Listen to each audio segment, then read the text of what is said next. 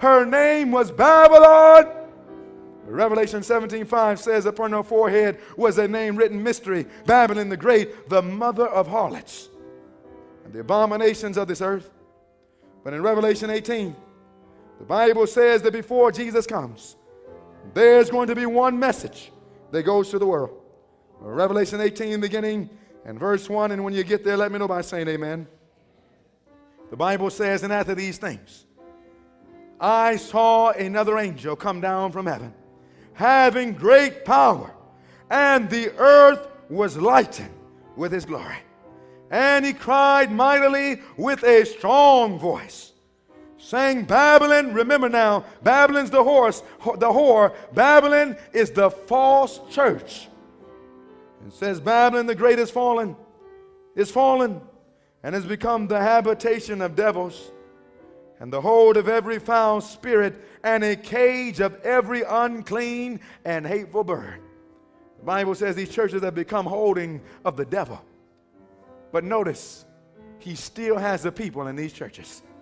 The Bible says in verse 3 For all nations have drunk of the wine of the wrath of her fornication, and the kings of the earth have committed fornication with her, and the merchants of the earth have waxed rich through the abundance of her delicacies. But I heard another voice, the Bible says. Verse 4 And I heard another voice from heaven saying, Come out of her who? My people. Now notice they're in Babylon. Notice they're in the false church. Notice every church has become a cage, an habitation of devils, and yet God goes into them and says, Come out of her, not the devil's people, my people. Jesus has many children in every denomination, in every religion. Some are not even going to church, they're in the street selling drugs somewhere. They're on the corner somewhere that everybody's given up on. That when they hear this truth, God is going to identify them because God's sheep hear his voice and they follow him. And I'm telling you, you Seventh Adventists who are born and raised Seventh Adventists and are claiming to be Seventh Adventists, you better check yourself. Because you must understand this Bible believing church, the Seventh Adventist church teaches that we believe that our bodies are the temple of the Holy God. That we don't just put anything in these bodies. We believe that this body is to manifest itself. We're to give glory to God in the simplicity of modest dress. This church, they believe in the Bible that they don't wear jewelry. They don't even need a wedding band. The Bible says that the true wedding band is the husband the house band. You see, God is going to have a people of simplicity that throw it all off, just like Jesus when he laid down his glory. When he took on the form of a servant. Now, we don't need to be talking now. Just now, someone is getting ready to make a decision. And every one of us, I don't care who we are, we are going to have to choose whether we're going to follow God or whether we're going to follow man. Jesus is about to come. You must make sure that everything you believe is from the Bible. Jesus must be the center of your life. You must understand that God's people will keep the commandments of God. You must believe in that gift of prophecy. You know, there's some that say, Oh, I'm a Seventh day Adventist. But I don't believe in the writings of that prophet. But, brothers and sisters, the Bible says that that true church, it must have the gift of prophecy. And you know what that prophet said? For those of you who know what I'm talking about. That prophet in a book called Testimonies to Ministers said, Not one penny should be spent for a circle of gold to testify you are married. It says that that which is going to be true is the relationship between the husband and the wife, which is in the sight of God of great price. And God is going to have a people, not everybody, but He's going to have a remnant. You know what a remnant means? You know what a remnant means? It's only going to be a few. In Matthew 7, it says, The world, the majority of them are going down a road that is leading to destruction. And it says, Many be they go after. It's broad. Everything you want to do, you can go down that road. But it says that there's going to be a little road, a narrow road, and only a few are going to make it. You see, brothers and sisters, the majority of people in this world, they love everything else more than they love Jesus. And if you will search your heart, and if you see anything that is in your life that the Bible does not say should be there, and you are not willing to let go of that thing, do you know that thing becomes your God? That thing becomes your idol and separates between you and Jesus. But God is going to have a people. Just like you see there when you get home, read Revelation 12 and verse 17. That false woman, she was decked with all the ornaments, but the true woman, she only had that which was natural and true beauty. She was not wearing that artificial adornment. And God is going to have a people in these last days that says, Jesus, whatever you say, I will do. In fact, in John 10, notice what the Bible says as we get ready to bring this message to a close.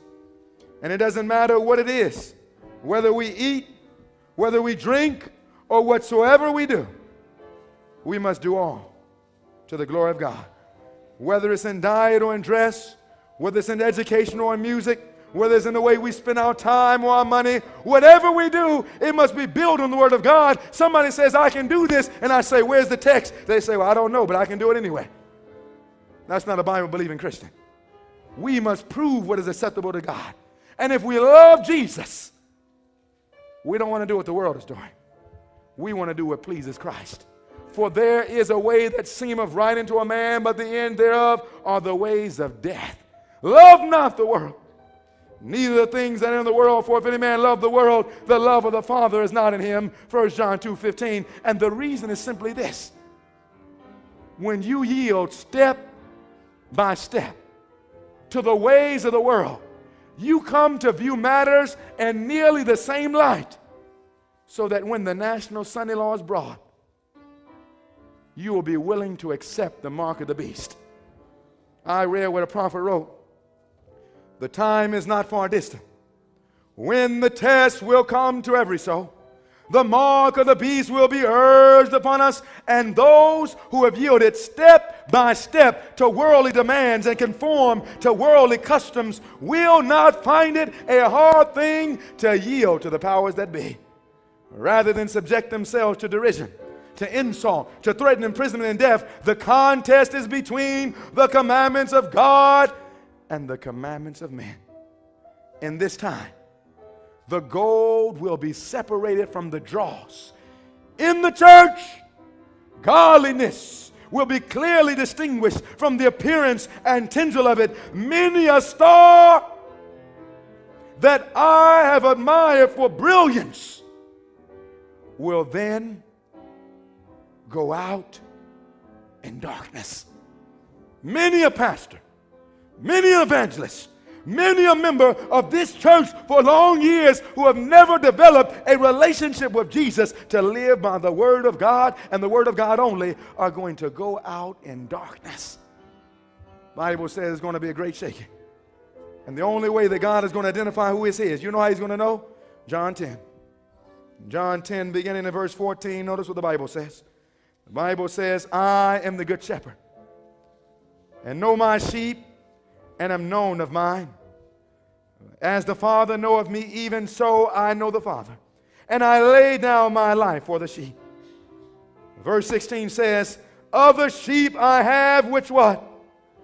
Are not of this fold, them also I must bring. There are going to be people in every churches, but I must bring them and they shall hear my voice, and there shall be one fold, one church, and one shepherd.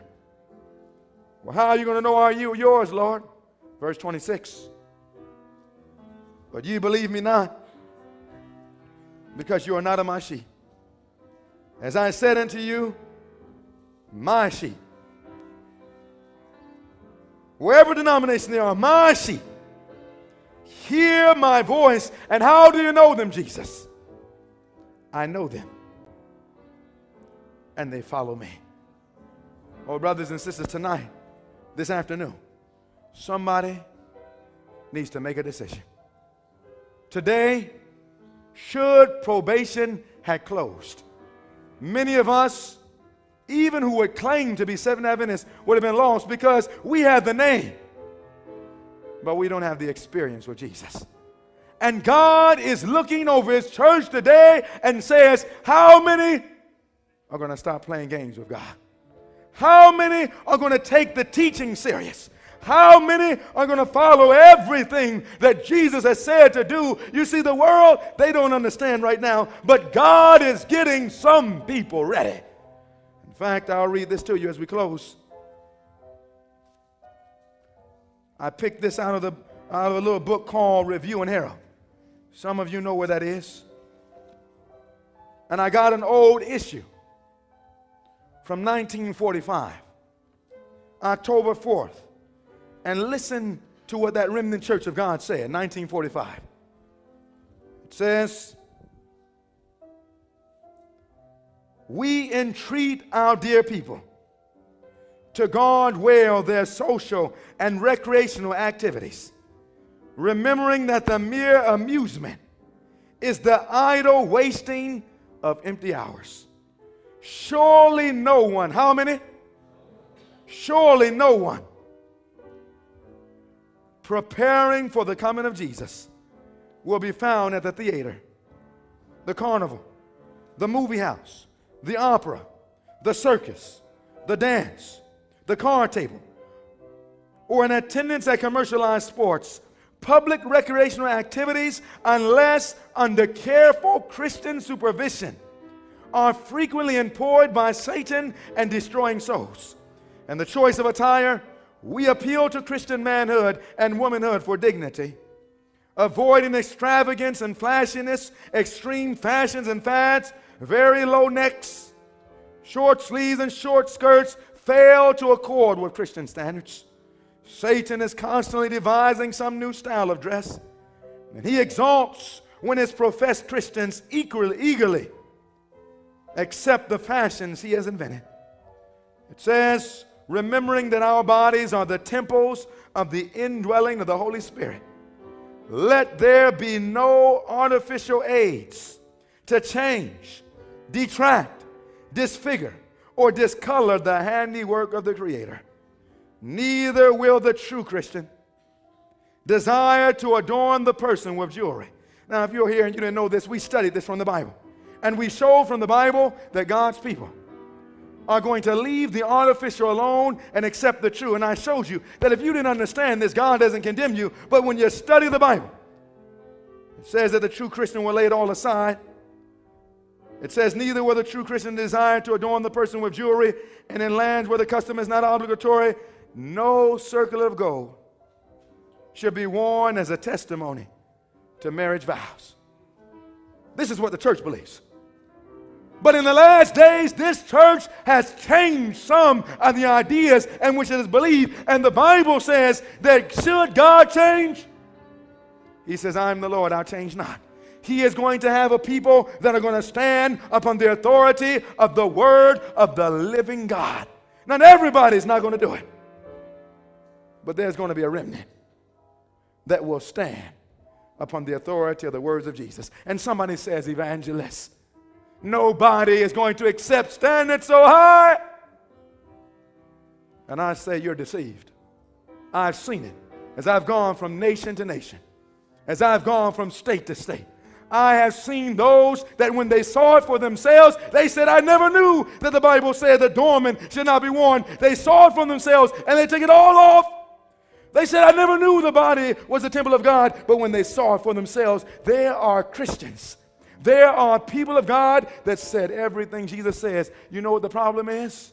It's not that the standards are too high. The problem is that our love is too low. You see, if we love Jesus, whatever he says, we want to do.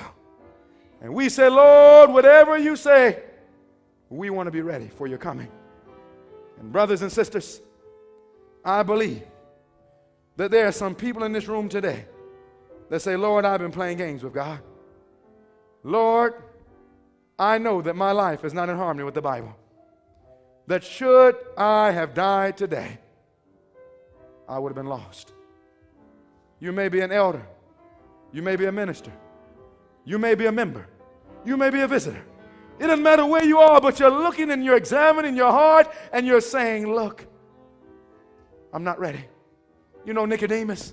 Nicodemus was a master in Israel. He was a teacher, and Jesus said, You need to be born again.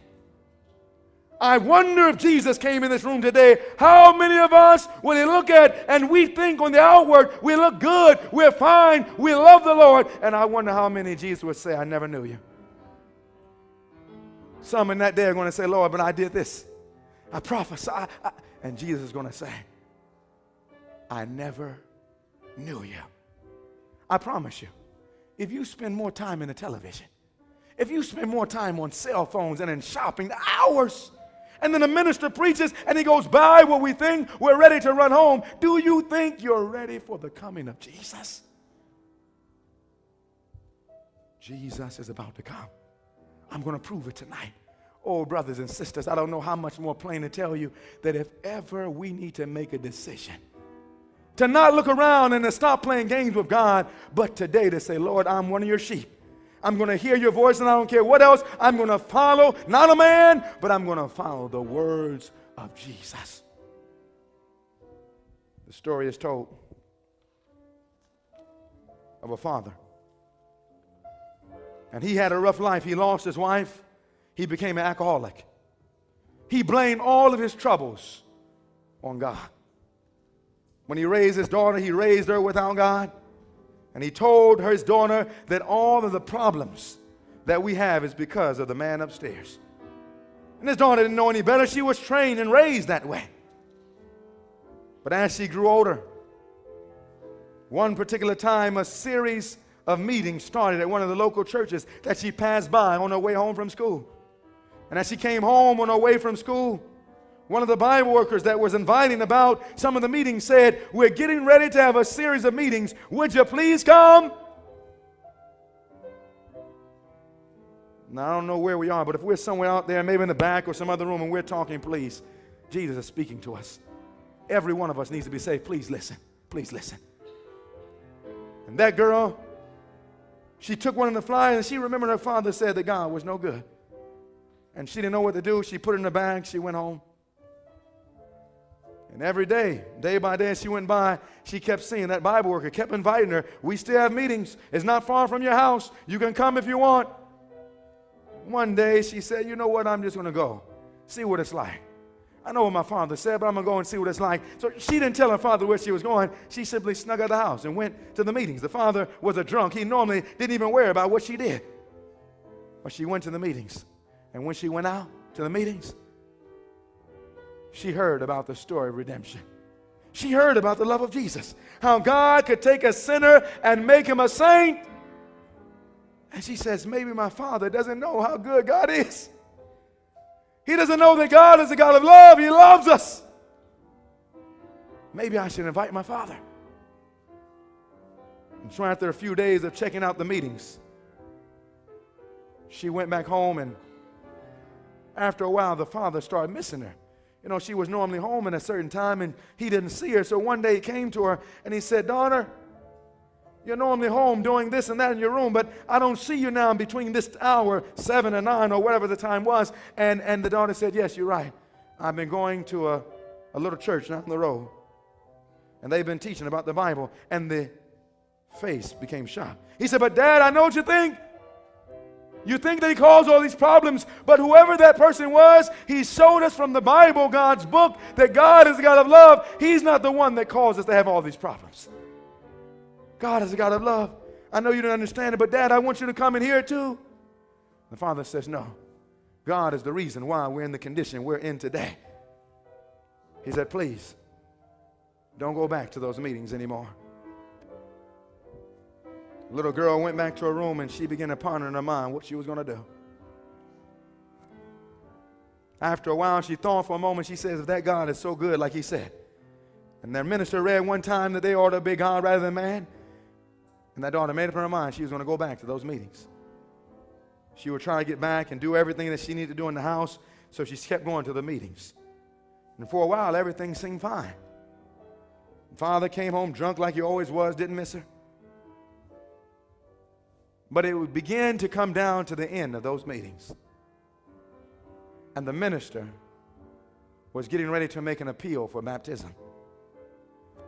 And the little girl, as she came out to the meeting, she came home one particular day after the minister made a call for baptism, and she was thinking, What should I do? I know my father wouldn't want me to do this.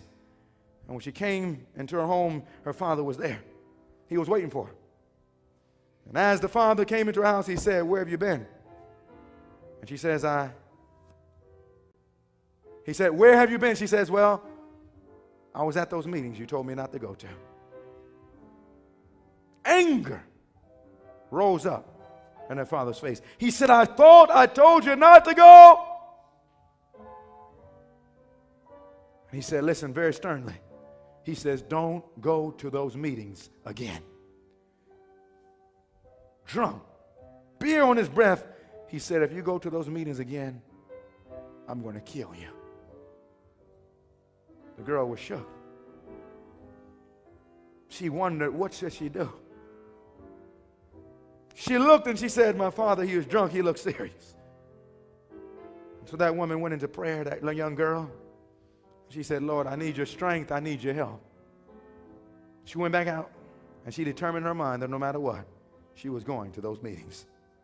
She said, I must obey God rather than man. That girl went out to the meeting. The minister made an appeal for baptism.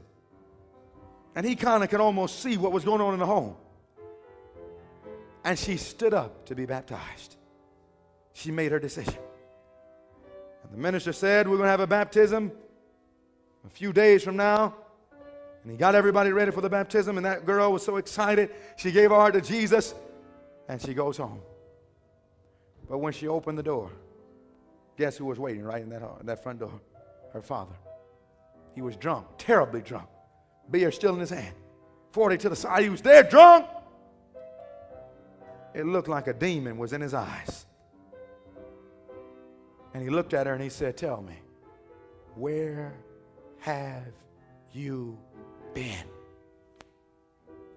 That girl, she couldn't speak. She knew her dad was drunk. She knew he was serious. She knew that if she answered, she could pay with her life. She thought for a moment. She pleaded with God. And she made up in her mind she would love not her life even to the death. And she looked into her father and she says, Father, I know what you think, but God is a God of love. I went to those meetings and I'm going to get baptized. The father's fear and anger rose up and he said, What? And raised his hand back and slapped her as hard as he could. That girl shook and flew across the room and hit the edge of the countertop, and her head burst open. Blood oozed out everywhere. About that time, there's a knock on the door. Knock on the door, and all of a sudden the door broke open, and it was the Bible worker. He had understood what was going on, and he wondered and to, wanted to make sure that that girl was all right. He was going to try to talk to the family, and when he gets in, he sees a little girl there in the pool of blood. He looks at the father. The father's drunk. The father now is almost like he's lost his mind. He don't know what's going on. And the man comes in and says, We need to call the ambulance. So he says, Call 911. And they call 911, calling for the ambulance. And the little girl's there lying on the ground. She calls her father over. And her father's there. She calls the Bible worker over. He's there. And they're saying everything's going to be all right. And that little girl, blood continued to ooze out upon her dress, all over her body. She says, Listen, I don't have much longer. But I want you to promise that you'll give me one request, that you'll fulfill one request for me. And the Bible worker said, No, you're going to be all right. Ambulance is coming. You're going to be all right. Don't talk like that. You're going to be all right. She says, Listen, I don't have much time. Please promise me you'll fulfill my one last request. And he kept trying to plead with her. She said, Please, would you just feel one last request? And they say, Well, you're not going to die, but, but, but just to comfort you, yes, whatever you want, we'll do it. And she says, Will you promise me one thing? They say, Okay, what, what is it? She said, Will you promise me that you will bury me in this dress?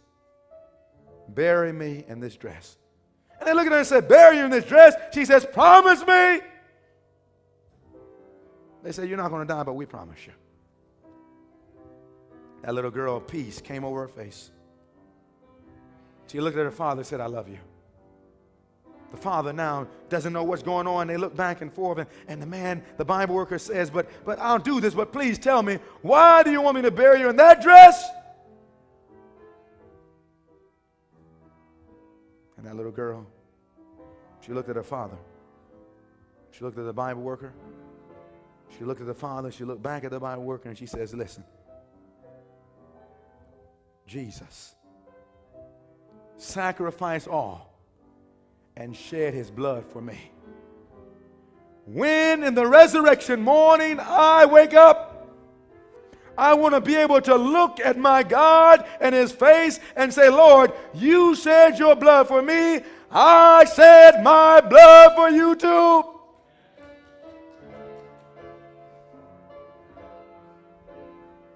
You see, when you have enough love, any sacrifice is easy.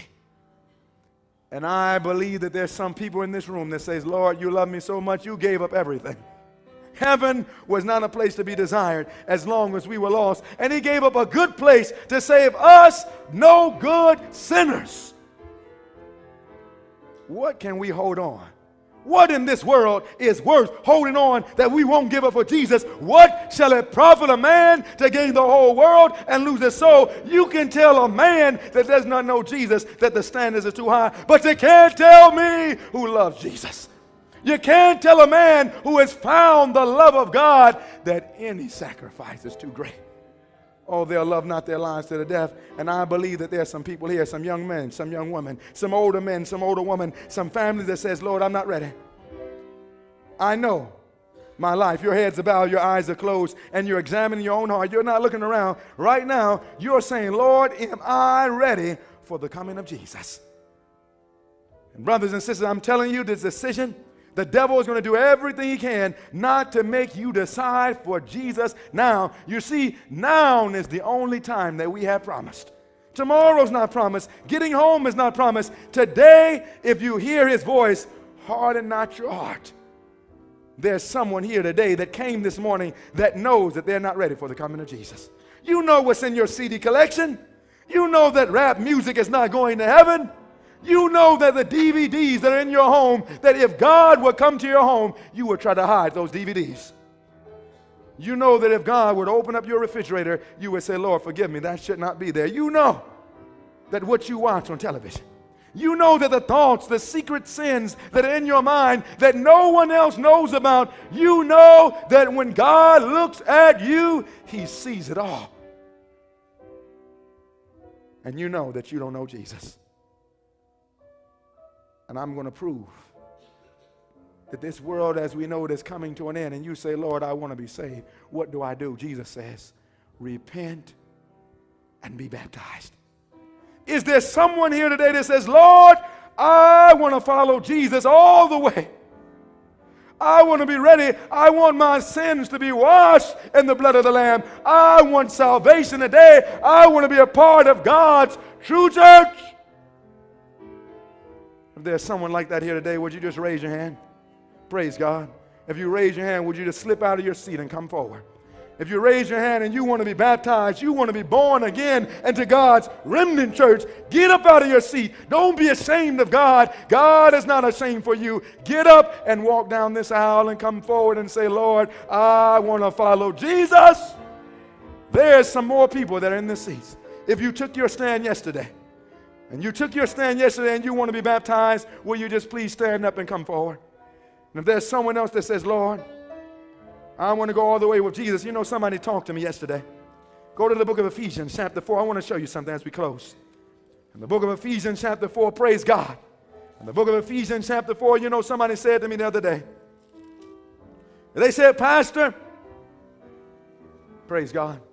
They said, I've been baptized before, Pastor.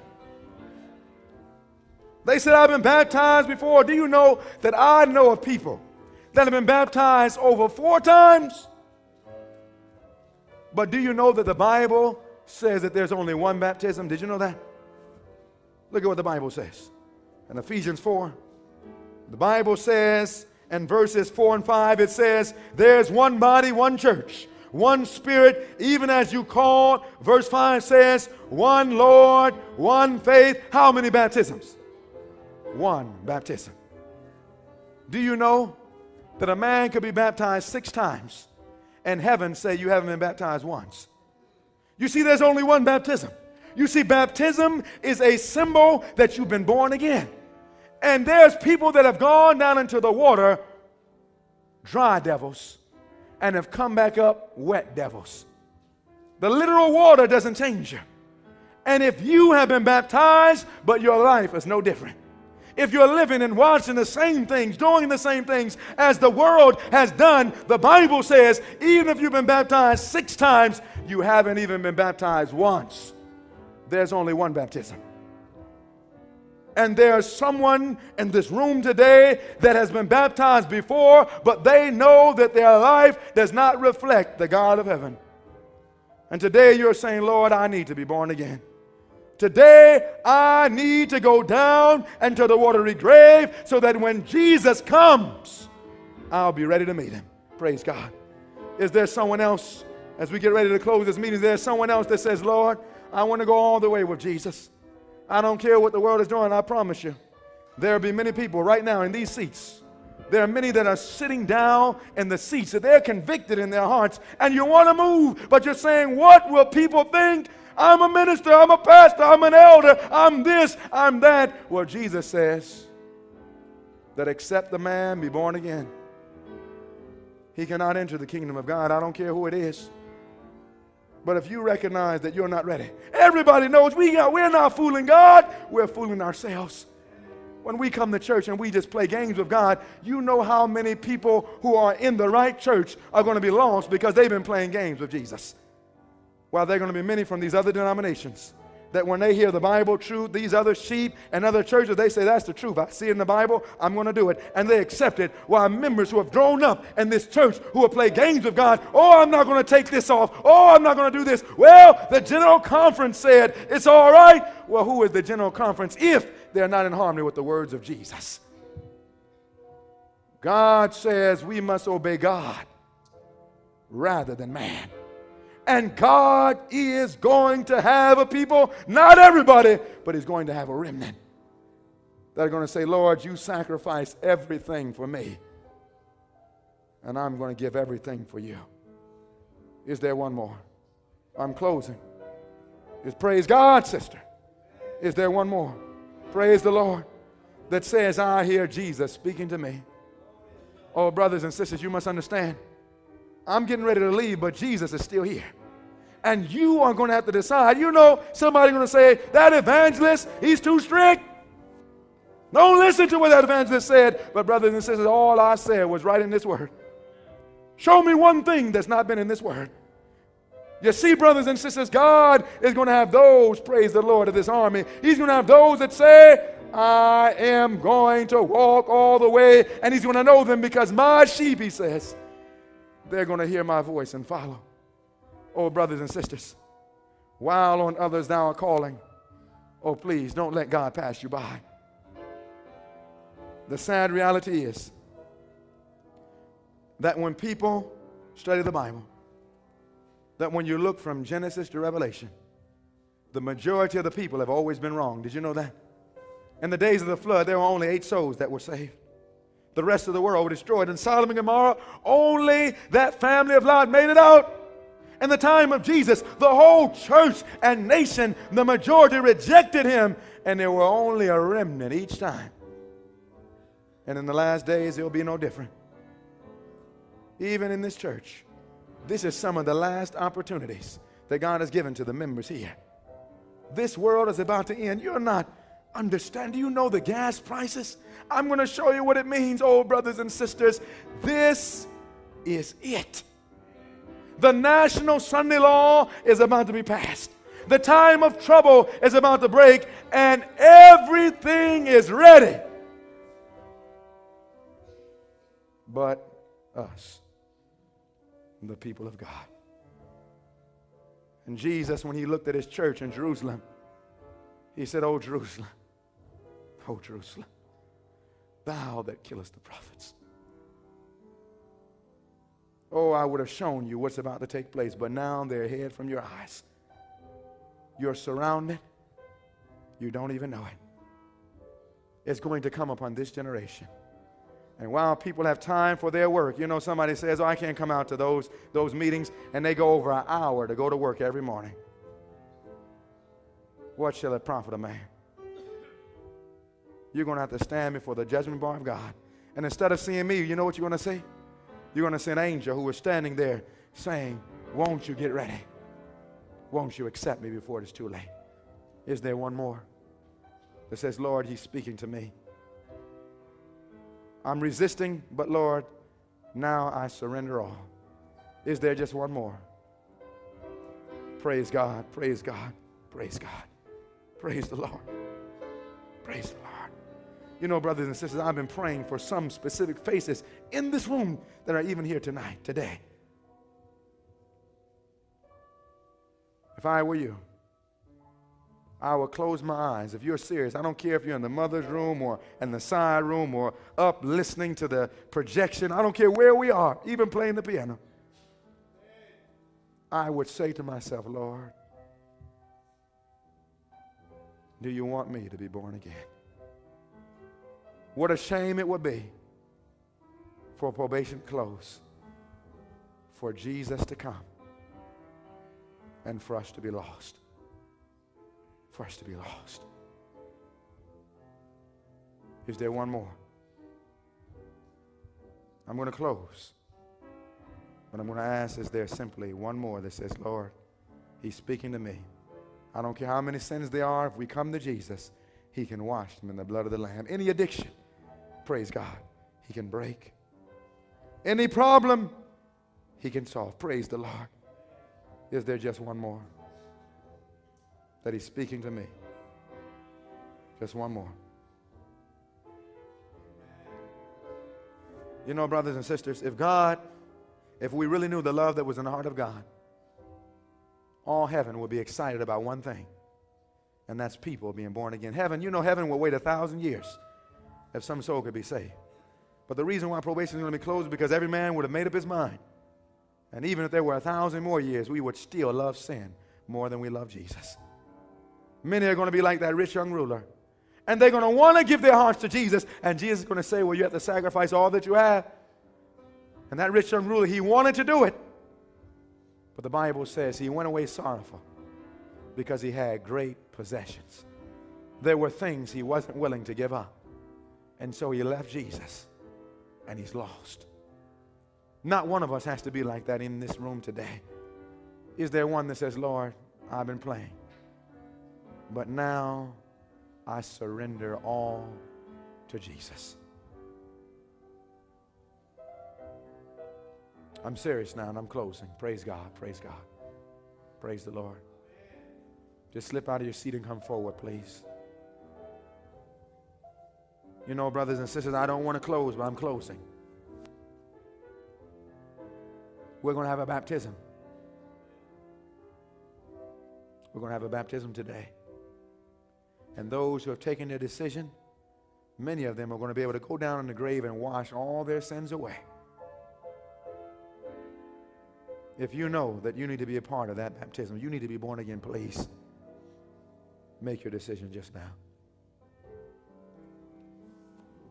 I'm closing. Father, Lord, I would tarry longer, but you're telling me now that we need to close this, this decision.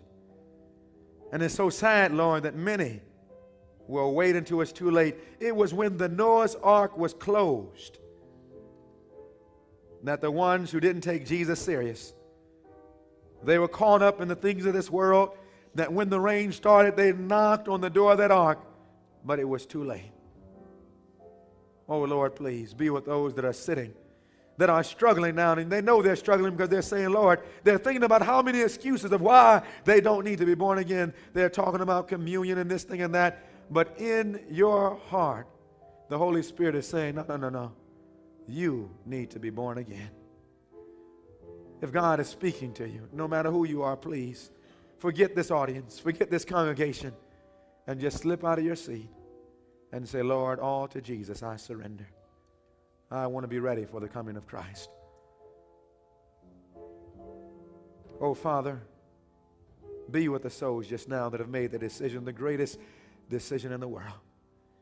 Wash them in the blood of the Lamb. Whatever addictions that is in their minds and hearts and lives, I pray upon the authority of your word that you will break it by the blood of Jesus. For you said that they shall know the truth, and the truth shall make them free, and that when Jesus sets us free, that we're free indeed. Oh Lord, be with every soul that is taking their stand, young and old. Be with the families, Lord.